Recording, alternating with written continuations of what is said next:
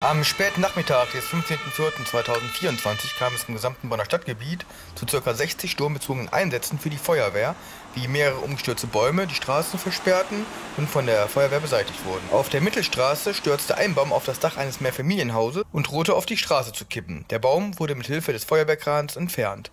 In der Nonnen-Strombergstraße begrub ein umgestürzter Baum mehrere Fahrzeuge unter sich. Natürlich würde ich mich darüber freuen, wenn ihr meinen Kanal abonniert, falls ihr das noch nicht getan habt und euch auch weitere Videos von mir anschaut.